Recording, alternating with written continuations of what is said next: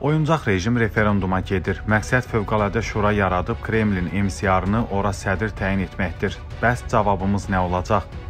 Qarabağda müvəqqəti yerləşmiş Rusiya sülhməramlı kontingentinin çətir altına sığınan, üstəlik Fransa kimi qatı ermənipərəst dövlətlərin mənəvi siyasi dəstəyindən ruhlanan və özlərini cəzasız hiss edən separatçı ünsürlərin Azərbaycan əleyhinə dövlətçilik oyunu davam edir. Cəmi 20 min erməninin yaşadığı şeytan yuvasında indi də konstitusiya islahatlarına şıdırğı hazırlıq gedir. Erməni nəşri Hraparaq bu xüsusda yazıb. Artsaqda konstitusiya ilə bağlı referendum keçirməyə tələsirlər. Əvvəlcə referendumun gələn ilin yazında təyin edilməsi nəzərdə tutulurdu.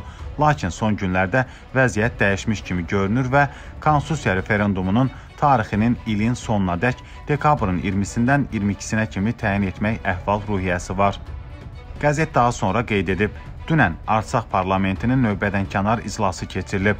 Onun gündəliyində ailə məcəlləsinə əlavələr və dəyişikliklər edilməsi haqqında və referendum haqqında qanuna dəyişikliklər edilməsi haqqında qanun layihələri olub.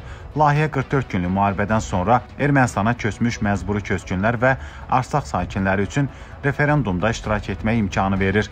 Yəqin ki, Ermənistanda vahid seçki məntəqəsi fəaliyyət göstərəcək və o Ermənistandakı Arçaxın operativ qərargahında yerləşəcək. Məlumatlara görə iclasda seçki məcəlləsinə dəyişiklik və əlavələrin edilməsi təşəbbüsü də irəli sürülüb.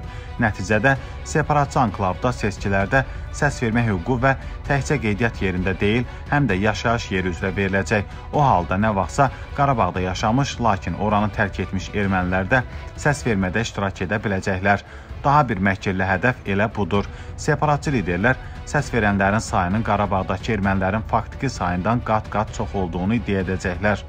Hıraparaq onu da qeyd edir ki, referendumdan sonra Artsaqda parlament və prezident seçkiləri ayrıca keçiriləcək. Gələn ilin birinci yarısında parlament, 2024-cü ildə isə prezident seçkiləri olacaq. Əlbəttə ki, Azərbaycan dövləti bu seçki tamaşalarına göz yumsa, təbii ki, belə şey olmayacaq. Separatçıların ağlı yəqin özlərinə, bir də Rusiya hərbi kontingentinə və qərbdəki havadarlarına gedib. Ancaq indi 44 günlük müharibədən öncəki dönəm deyil. Bakı özünü yenidən arxain hiss eləməyə başlamış separatçı kriminal tör-töküntülərin cilovunu yığmaq bu qəbildən hoqqalarını önləmək üçün yetərincə resursa malikdir.